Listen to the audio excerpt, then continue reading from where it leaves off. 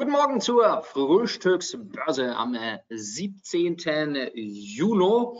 Ähm, tja, heute Märkte munter wohl auf. Entsprechend das Virusproblem, was wir vor wenigen Tagen hatten, scheinbar schon verdaut. Und somit drehen die Aktienmärkte natürlich wieder fleißig auf. Denn äh, wen kümmert das Geschwätz von äh, gestern?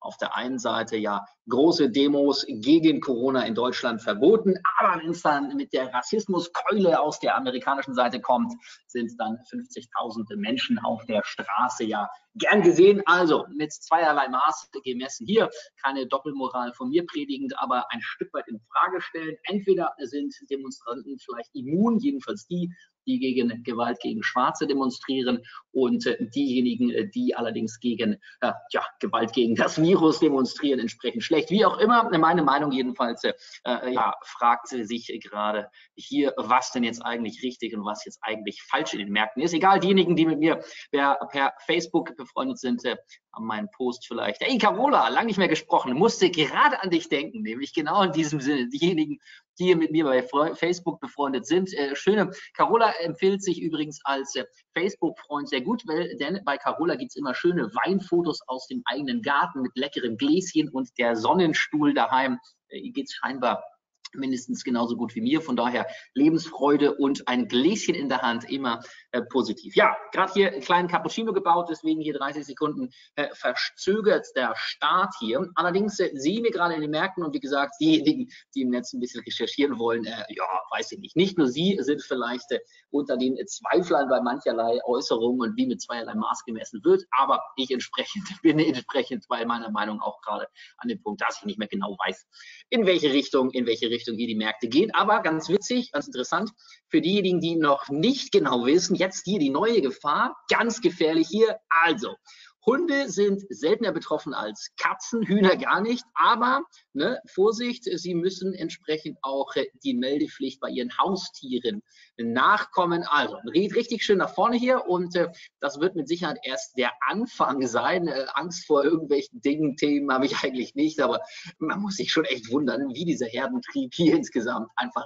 diesem riesig großen Corona-Problem hinterherläuft. Äh, müsst ihr jetzt die aktuellen Zahlen nochmal anschauen, wie gesagt. Aber insgesamt, äh, tja, keine Ahnung, ich äh, munter, munter freue mich jedenfalls jeden Tag wieder aufs Neue, wenn es einfach spannende Nachrichten gibt und dann entsprechend auch noch die Informationen dazu kommen. Ja, ja, ist auch wichtig, das muss auch gemacht werden, denn wir könnten uns ja alle mit diesem Virus anstecken. So, am besten weiterhin auch schön äh, daheim Kondom aufziehen, wenn Sie abends ins Bett gehen und schlummern gehen. Könnte ja passieren, dass dort etwas Schlimmeres passiert. Entsprechend also auch wie hier in Thailand gerade im Auto fahren, schön Auto, Fensterscheiben zu, Klimaanlage natürlich nur auf Umluft, damit es auch äh, im Auto äh, sich dann weiterhin frisch atmen lässt. Aber auch im Auto alleine sitzen natürlich die Corona-Maske nicht vergessen, denn auch die soll ja vor Schaden bekanntermaßen schützen. Vorteil ist, Sie können sich dann wenigstens sich selber noch ein erneutes Mal anstecken mit einer zweiten Corona-Infektion. Aber positiv, und das ging eigentlich hier gerade auf der Tagesschau-Seite weiter, äh, sehe ich äh,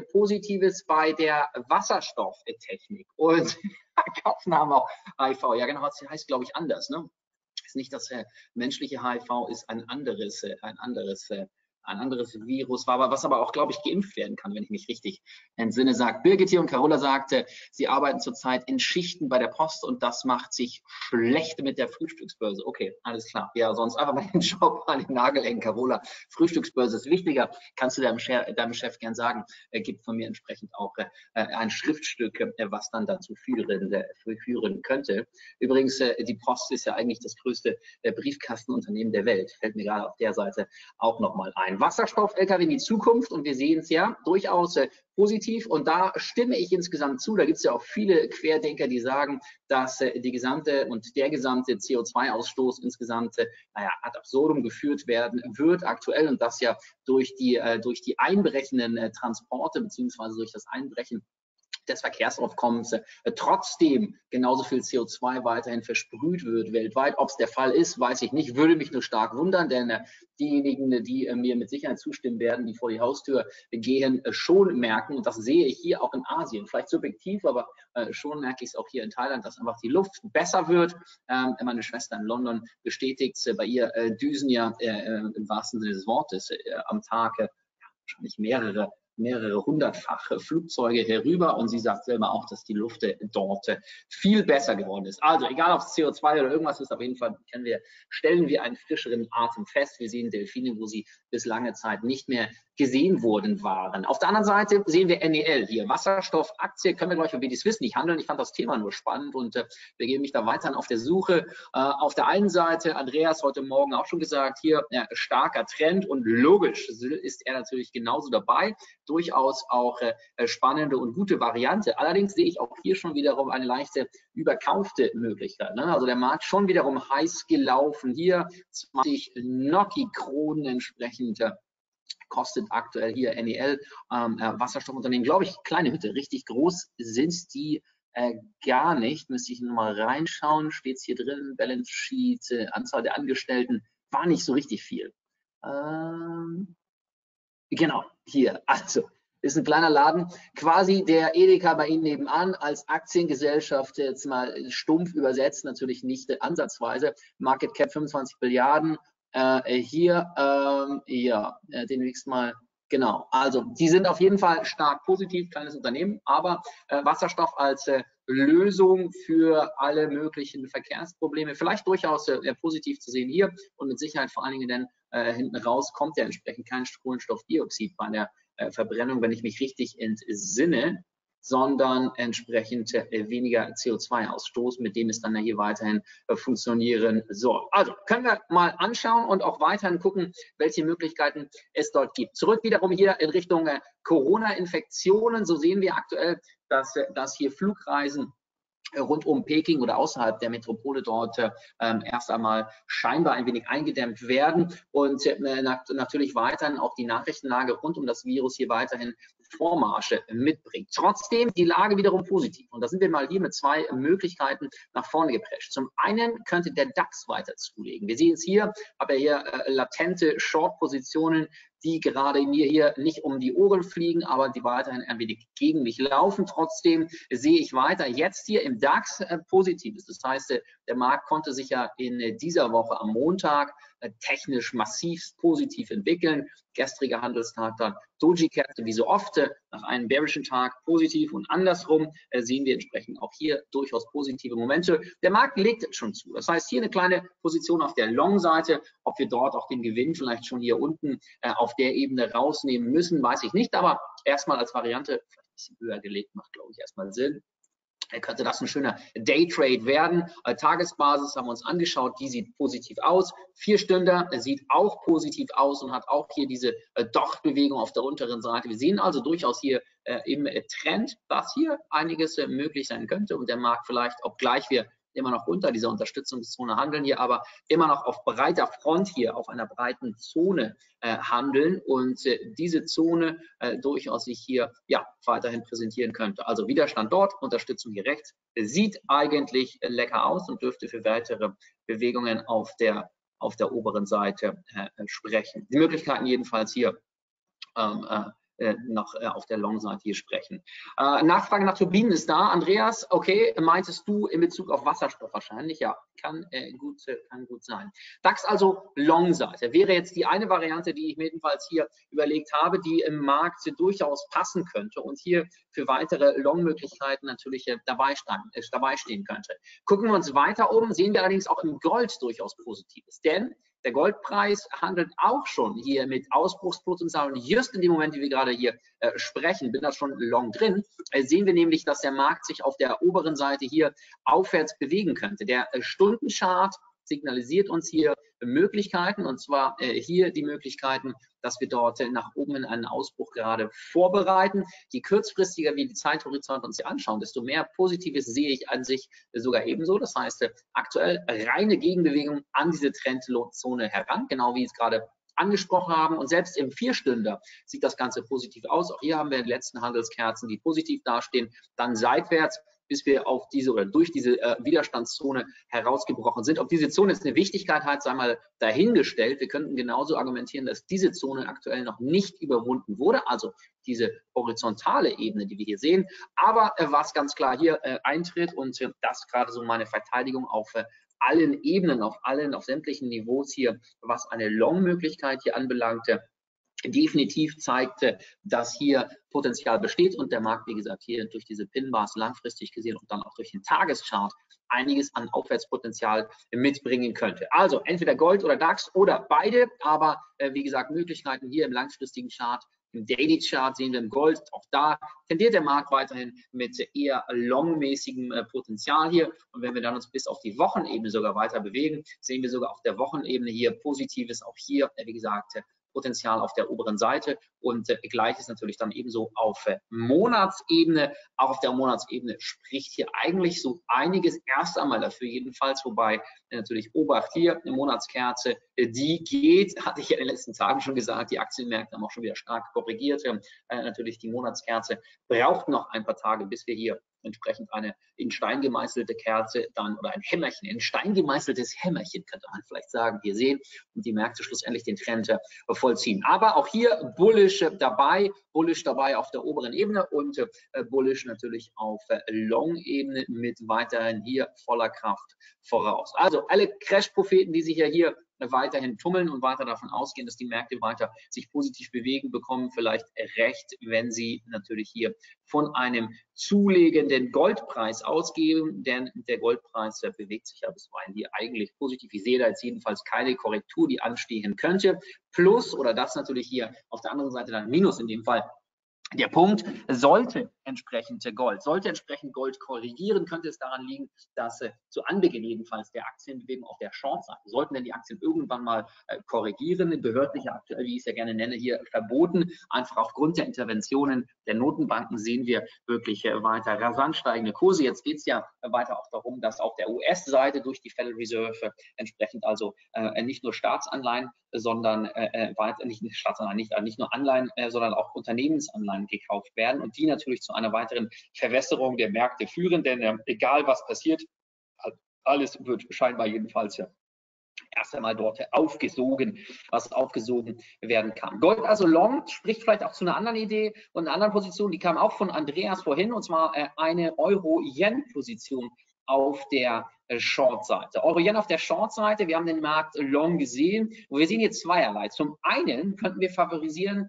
dass der Euro weiterhin fest äh, handelt gegenüber zum Beispiel dem US-Dollar und weiterhin auch äh, gegenüber dem Euro natürlich. Aber was wir hier sehen, das ist eine klare Trendlinie nach unten, die allerdings erneut angetestet werden könnte. Das heißt, wir haben gerade diese Zone, die wir hier sehen, und da würde ich um die 1,20 oder 120, 50, 120 55 würde ich reingehen. Andreas hatte gesagt, glaube ich, 120, 45, also ein bisschen sicherer, tiefer. Gucken wir uns mit Detail gleich an. Trotzdem, der Markt könnte natürlich weiterhin bullisch sich bewegen aber auf der anderen Seite auch sich erst einmal zwischendrin hier auf der Short-Seite abwärts bewegen, in dem Versuch, diese Trendlinie noch einmal anzutesten, bevor dann der weitere Ausbruch äh, dann erfolgt. Sehr oft äh, treffen wir das ja hier im Markt wieder, dass der Markt sich an eine Zone weiterhin heranbewegt. Zum Beispiel, wir haben sie ja schon hier markiert, ähm, die Zone, Blick, alles lösche, die grüne Zone hier, Unterstützung, Markt steigt wiederum, hier mehrfach geschehen, dann fällt der Markt ab und zwar ziemlich stark. Wir erinnern uns hier,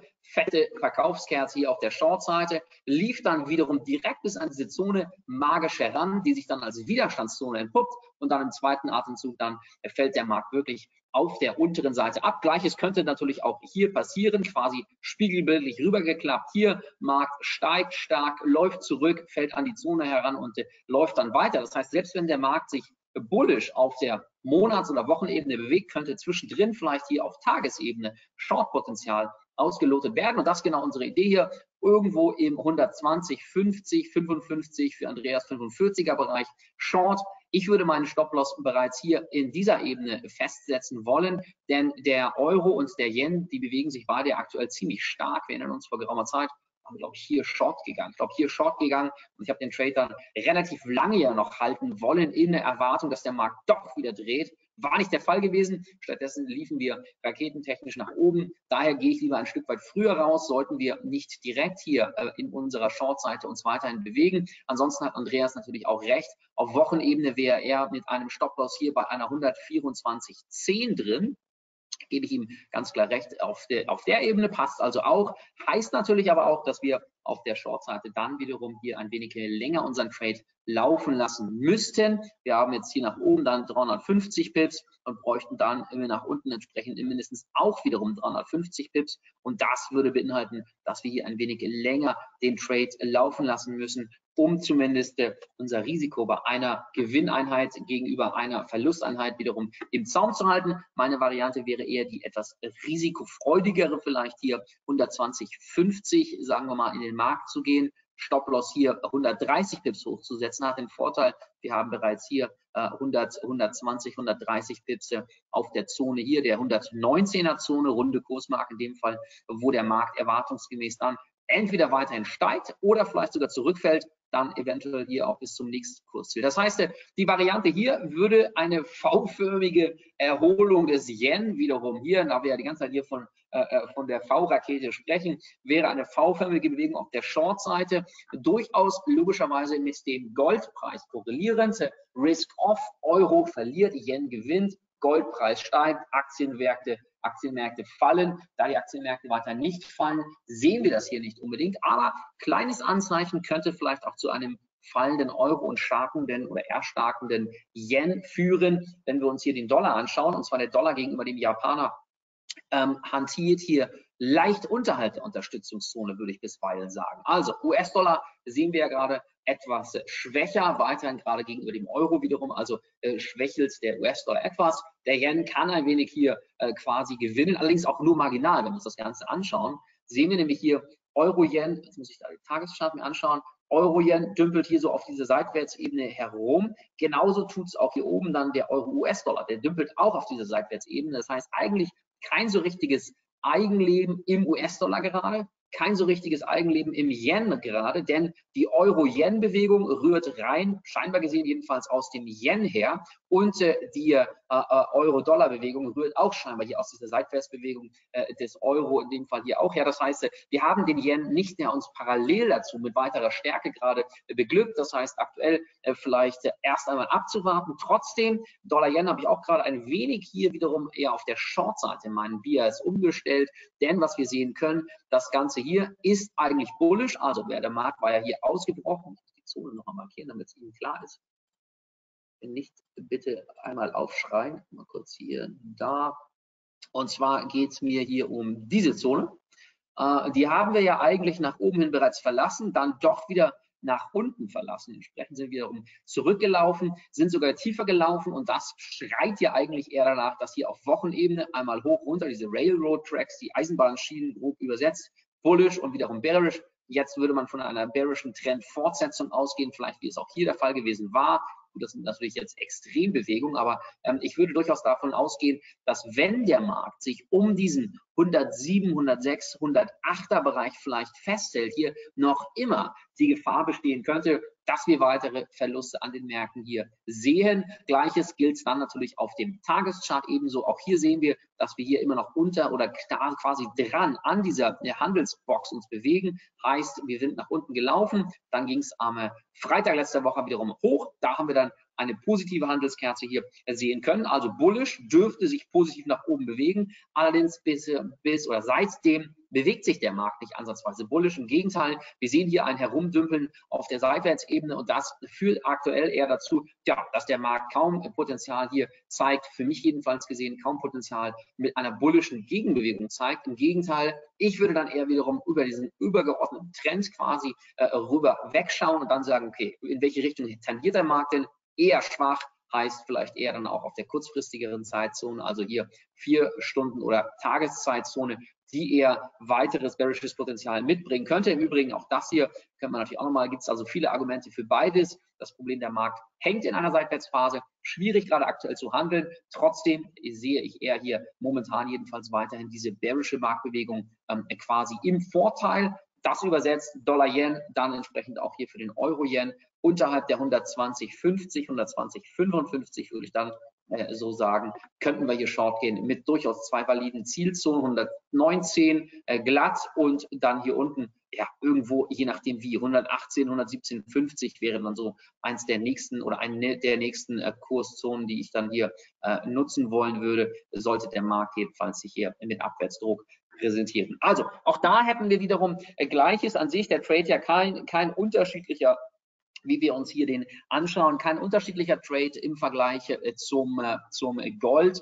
Gold tendiert positiv auf der Long-Seite, und spricht natürlich dann auf der Long-Seite äh, gut und äh, spricht natürlich auf der Long-Seite gut für weiteres, äh, für weiteres Aufwärtspotenzial. Risk-Off, also im Gold, Risk-Off im Euro-Yen, vielleicht auch Short. Demgegenüber spricht dann der DAX hier dafür, dass der Markt steigen könnte. Und äh, ja, da sind wir ja zum Glück hier entsprechend heute auch mal reingelaufen. Sollte der Markt also oder sollten die Aktienmärkte weiterhin behördlich angeordnet steigen, hier schön diktatorisch auf der Long-Seite unterwegs, äh, könnte das natürlich ein wenig hier mal positiv auch was für uns auf der Gegenseite mitbringen. Also das, äh, wie gesagt, hier noch die Variante, die ich ebenso sehe. Und damit käme ich eigentlich auch schon grob zum Ende hier, was jedenfalls meine Ideen, meine Handelsideen für den heutigen Tag anbelangt. Sind ja auch durchaus einige an der Zahl. Um es zusammenzufassen, ich bleibe auch weiterhin noch immer Euro auf der Euro-Dollar auf der Short-Seite. Also auch weiterhin sollte hier die 100, äh, die 1,12, 1,1240er Zone nach unten verlassen werden, würde ich dort durchaus weiteres äh, Potenzial auf der unteren Seite sehen und entsprechend dadurch einhergehen, natürlich auch weiterhin hier die Short-Seite in Angriff nehmen wollen. Und äh, auf der anderen Seite hatten wir ja dort äh, gestern, vielleicht waren Sie auf der Short-Seite dabei, äh, entsprechend im Euro-Dollar hier glaube, hier diese Handelskerze lief der Markt ja kurz nach oben, dann angetäuscht lief es dann nach unten für die VIP-Kunden unter Ihnen. Ich hatte gesagt 100, 112,40 als Kursziel. Also ziemlich spot on, würde ich sagen, haben wir dort mal wieder, endlich mal wieder einen netten Trade auch für uns kassieren können. Der Markt dann hier auf der kurzfristigen Handelsseite dann positiv auf der Short-Seite. Also das passte erst einmal hier äh, nach unten und äh, insofern bleibe ich jetzt in, in, der restlichen Position auch erst einmal drin. Im Übrigen passt natürlich auch hier die Marktbewegung gerade, wenn wir uns das so anschauen. Euro-Dollar nach oben, schwacher Goldpreis, äh, schwacher US-Dollar, Schwacher US-Dollar könnte im übertragenen Sinne auch ebenso dem Goldpreis helfen, denn der Goldpreis, wenn er, er tendiert schon nach unten jetzt gerade, Genau, da sind wir auch, auch gerade reingelaufen hier. Ähm, sollte also der Goldpreis hier nach unten droht gerade der Stop-Loss, na, noch ein kleines bisschen haben wir den auch. Ähm, aber der schwache US-Dollar normalerweise dürfte eigentlich auch an sich hier einen äh, stärker zuliegenden Goldpreis auf der einen Seite beinhalten. Auf der anderen Seite haben wir natürlich dann hier die Verschiebungen in Bezug auf Risk, äh, Risk, Risk Off Risk On und da sehen wir gerade äh, vielleicht dann doch eher im überschwänglichen Sinne hier wiederum die Aktien positiv. Das heißt, äh, Long DAX spricht für eher vielleicht äh, fallende Goldpreise, wie wir es ja gerade hier sehen, dieser kurz vor Stop-Out. Aber mehr Risiko will ich da jetzt nicht gehen. Und äh, ja, wenn die Märkte im Laufe des Tages, kann der auch passieren, wenn der DAX weiterhin zulegt, zum, zum ATR oben hin, äh, hier am Widerstandspunkt dann irgendwann scheitert, würde ich dort Gewinn hoffentlich jedenfalls rausziehen. Logischerweise sukzessive den Stop-Loss heute im Verlauf des Tages nachziehen, wäre meine Variante. Und dann gucken wir mal, was hier im äh, Euro gegenüber dem Yen passiert. Kann ja auch immer wieder schnell gehen. Es kann auch mal wieder eine größere Kerze auf der unteren Seite geben, sodass dann auch wiederum Euro-Yen auf der Short-Seite auch ausgelöst werden könnte. Also de facto für Sie der DAX Long passt auf jeden Fall. Das ist die Variante A. Ölpreis legt auch eigentlich weiter langsam zu. Da sind wir ja noch in unserem Long, auch in der neuen Long-Position drin die könnte eigentlich auch hier weiterhin ausgelotet werden. Auch da hilft natürlich ein, durchaus schwächerer US-Dollar, der verteuert ja dann ganz klar den Ölmarkt ebenso. Und äh, ansonsten die Aktienmärkte, ja, drücken weiter munter fleißig nach oben. S&P 500 äh, noch nicht so ganz so stabil stark, gleichwohl auch der schon wieder ja hier die letzten Wochen Verluste wettgemacht hat. Gleiches gilt nicht ganz für den Dow Jones. Der hält ein wenig hier noch im Knick weiterhin. Und wir sehen wiederum die Technologiewerte hier, ja, drehen weiter auf, als gäbe es kein Gestern und kein Übermorgen. Die Märkte ganz klar hier ja auf der Call-Seite stark über, über, überschwänglich positiv. Wie gesagt, Herz, Kapitalerhöhung respektive, muss ich auch mal reingucken, hier, was bei Herz am Ende jetzt noch los gewesen ist. Die hatten ja nochmal eine Milliarde in Form von neuer Aktien rausgegeben, so nach dem Motto, erstmal Insolvenz anmelden, um dann hier die Kapitalanleger vielleicht auch nochmal ein bisschen mit billigen Aktienpreisen zu beglücken. Das sind nichts anderes als reinste Zockerpapiere. Sie gehen ins Casino äh, und äh, ihr wird die linke Hand abgeschossen und dann versuchen sie mit der rechten Hand auch nochmal einen Chip vielleicht auf ihr Casino-Brett zu legen und dann wird ihnen die rechte Hand auch noch abgeschossen vom Casino-Chef im übertragenen Sinne. Und äh, sie setzen immer noch weiter und rufen nochmal fünf Freunde an, die auch nochmal vielleicht für sie weiter zocken, denn es kann ja nur noch im Gewinn weiterlaufen. Also das ist aktuell der Markt hier. Etwas nach unten gedrückt, auch immer, noch so, also vielleicht, wenn Sie noch ein kleines Vermögen haben und daraus ein großes äh, äh auch verlieren wollen, auch nochmal hier Herz kaufen, äh, diejenigen, die äh, vom Kopf her vielleicht äh, nur noch hier äh, Casino-Mentalität an den Märkten aktiv zeigen, zocken auch hier weiter, wie gesagt, für mich ohne Sinn und Verstand, aber das natürlich hier gerade ein Inbegriff Aktuell ist nicht mehr ganz so, von daher die Worte stimmen jetzt nicht ganz, aber der Inbegriff der, der überhitzten Zockermärkte, wenn jeder Taxifahrer, jede Hausfrau hier am Zocken ist, äh, soll nicht heißen, dass Hausfrauen nicht zocken können an den Märkten, nur völlig aberwitzige Marktkonstellation, in der ja,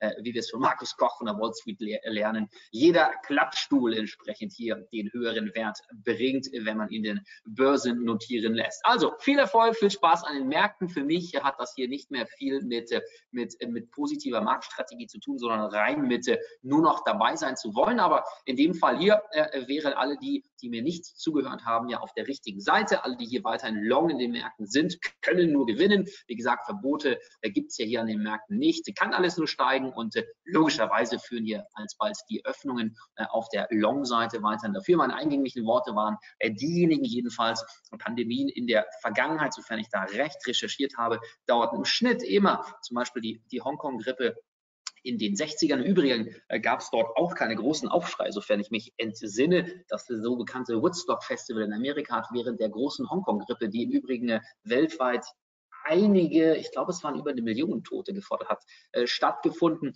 Aktuell aber sehen wir, dass wir hier eher vielleicht am Anfang der Pandemie, wirklich gesehen am Anfang der Pandemie, äh, wenn sie denn weiterhin so gefährlich sich zeigte, sein könnten. Denn äh, immer wieder, äh, wieder zurückschwappende, und da würde ich erstmal den offiziellen Zahlen auch aus Peking glauben, eine Stadt regeln die nicht mal einfach so oder Teile der Stadt Pekings regeln die mal einfach nicht so ab, weil sie glauben, äh, dass das einfach lustig ist, sondern ich kann mir schon vorstellen, dass durchaus dort eine, äh, eine gewisse Gefahr, jedenfalls zumindest eine Eindämmung gerade erzeugt werden soll. Heißt, die Aktienmärkte äh, äh treiben gerade ja hier eine V-förmige Erholung, die wir schon gesehen haben, weiterhin voran mit der Erwartung, dass auch schnellstmöglich bald Grenzen wiederum aufgemacht werden, dass die Wirtschaft wieder normal angekurbelt wird.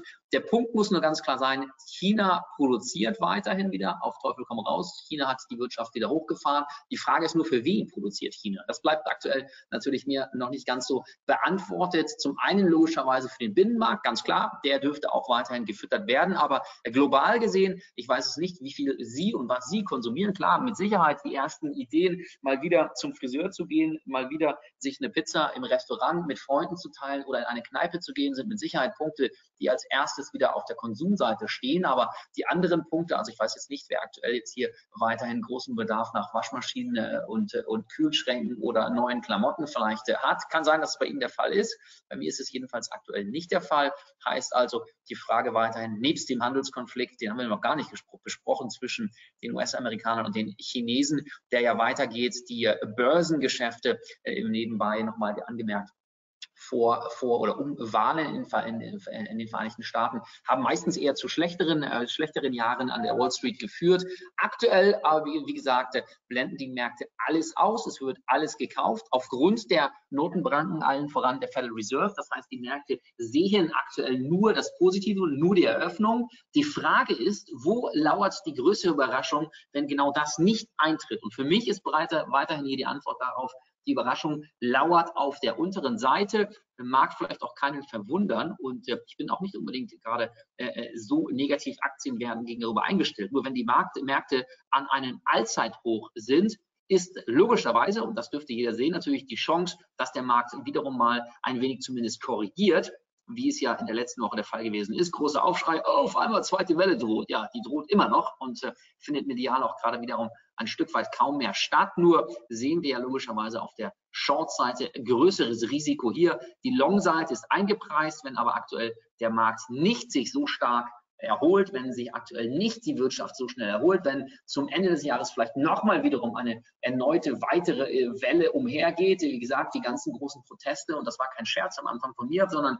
die ganzen großen Proteste, diese, äh, äh ja, ach so wichtig gerade, nicht verschiebbaren Rassismusproteste, denn diese Rassismusproblematik ist ja scheinbar gerade, wie ich es gerade so in den Medien entnehme, aktuell ganz neu und ganz frisch, gab es vorher noch nie. Und äh, Polizeigewalt gegen Schwarze in Amerika gab es vorher auch noch nie. Das heißt, äh, da muss aktuell also protestiert werden. Heißt, man könnte mit weiteren Infektionen also rechnen und äh, vielleicht dann also hier weiteren auch mal eine weitere Abwärtskorrektur in den Märkten rechnen. Plus die Programme der Notenbanken sollten die alsbald an, äh, weiterhin auslaufen, dann äh, wird natürlich die Frage weiterhin bestehen, werden die verlängert? Also viele Unklarheiten, viele Unklarheiten, viele Fragen auch äh, in der Ausbreitung der Coronavirus-Pandemie aktuell, die auch mich betreffen, zu denen ich mit Sicherheit keine Antworten habe. Die Aktienmärkte allerdings geben gerade schon die Antworten, denn die sind aktuell auf dem Weg in oder haben es aktuell schon wieder getan auf neue Allzeithochs. Die Frage, ob das äh, dauerhafte, dauerhafte, dauerhafte passieren und so laufen kann, können Sie sich selber beantworten. Wie gesagt, für mich geht das hier etwas zu schnell und das heißt für mich weiterhin auch, selbst wenn mein Account hier gerade äh, wiederum in Richtung Einstand äh, zurückfällt äh, mit, mit, meinem, mit meinem Trading hier. Für mich heißt das trotzdem weiterhin, dass ich hier definitiv auf der Short-Seite eher ausgerichtet bin als auf der Long-Seite. Gestern wieder ein bisschen Gewinne mitgenommen in den Aktien Long. Keine, keine Verwunderung vielleicht bei einigen von Ihnen, wenn auf einmal eine ThyssenKrupp-Aktie innerhalb von zwei Handelstagen 6, 7 Prozent vorne liegt. Bei mir mit meiner ja nicht langjährigen, aber schon, ich bin auch ein paar Tage schon länger an den Börsen unterwegs, äh, Erfahrung, äh, sind das schon ein paar Fragezeichen, die dort äh, entsprechend jedenfalls nach oben gehen. Plus im Übrigen, Rezession dauern tendenziell auch eher 16 bis 18 Monate und nicht zwei bis drei. Da dies natürlich nun, das wäre die bullische Argumentation, da dies eine administrierte, äh, eine administrierte Rezession ist und eine, ein globales Herunterfahren der Wirtschaft, äh, könnte also diese auch schneller beendet werden. Nun, weiß ich nicht, ob es so ist. Äh, ich, wie gesagt, habe dort äh, große Zweifel und äh, die habe nicht nur ich in den Märkten, die haben auch durchaus die ein oder anderen anderen Marktteilnehmer. Trotzdem, klar, definitiv Aktienmärkte sprechen hier derzeit eine andere Sprache und äh, je mehr die Aktienmärkte sich positiv bewegen, desto mehr müssen wir natürlich schauen, dass wir hier auch ein Stück weit an diesem Kuchen nicht, äh, nicht vorbeilaufen und nicht nur die Sahnehaube hier mitnehmen, versuchen mitzunehmen, sondern auch mal ein Tortenstück vielleicht hier äh, mitnehmen zu wollen in unseren Handelsentscheidungen. So, Carola, bin im WTI Long, genau, habe ich gesagt, WTI Long, also äh, du meinst wahrscheinlich den, den CFD-Kontrakt. Den WTI kannst du ja direkt bei äh, bei uns jetzt hier nicht handeln, den CFD, also den Kursdifferenzkontrakt auf Öl, US-Öl nennen wir es. Der sieht weiterhin gut aus, Carola, da bin ich bei dir. Auch da habe ich ja noch die kleine Short-Position. Sollten wir hier nochmal bis zu, sollten wir bis zu 40 ranlaufen, dann sind wir, sind wir hier gut auch mit der zweiten Long-Position dabei. Sonja, guten Morgen. Sehr schöne Punktlandung gestern bei deinem Euro-Dollar. Ja, genau. Hat mich auch gefreut ging ja dann relativ schnell und der Markt hatte wirklich relativ schnell hier nach unten tendiert. Das war eine heiße Kiste, kam vom Strandspaziergang zurück, der Markt tendierte nach oben, dachte, na, habe ich jetzt hier den Ausstieg verpasst, nachdem dann diese Kerze geformt war, lief es dann massiv nach unten und hatten wir ja wirklich innerhalb von zwei Stunden hier richtig genau die Punktlandung erreicht. Schön, aber freut mich, Sonja, äh, dass du den Trade hoffentlich hast mitnehmen können. Erstmal weiter viel Erfolg für Sie, wie gesagt, DAX Long erst einmal für den Moment. Euro-Dollar mittelfristig weiterhin eher Short, Euro-Yen weiterhin auf der Short-Seite unterhalb der 120,55 wären eigentlich so die, die ersten und die nächsten Trades, die ich hier aktuell sehe. Und äh, den Gold-Trade hat es schon rausgeschüttelt hier aus dem Markt schön Murphy's Law, einmal unten Stop-Loss gehuscht und jetzt wieder äh, dreht es nach oben. Hier würde ich eventuell sogar auf der Long-Seite erneut einsteigen. Sollte der Markt der sich wieder nach oben hin auf der Long-Seite aufwärts bewegen, würde ich da vielleicht nochmal eine erneute Long-Position nehmen. Problematisch ja oft in diesen Seitwärtsmärkten hier, das ist keine Entschuldigung, aber ist einfach ein Fakt, dass die Märkte gerne oft und lange seitwärts bleiben, bis auch der letzte aus dem Markt herausgedrückt ist und das ist mit Sicherheit hier eher nur das, das dauerhafte Phänomen von den Marktteilnehmern. Aber wenn der Markt dann anfängt zu laufen, ist man vielleicht nicht mehr dabei. Gleichwohl dann sehr oft natürlich hier 1728 Widerstandszone dann die große Chance hier lauert mit einer starken äh, Bewegung nach oben. Also hier habe ich weiterhin die Augen vorne offen und äh, gucke, was passiert. Aber wie gesagt, hier Gold Long, Aktienmärkte, vielleicht eher Short wäre jedenfalls die althergebrachte Bewegungsmöglichkeit. In diesem Sinne, erstmal viel Erfolg, dann bis später. Alles Gute. Ciao, ciao.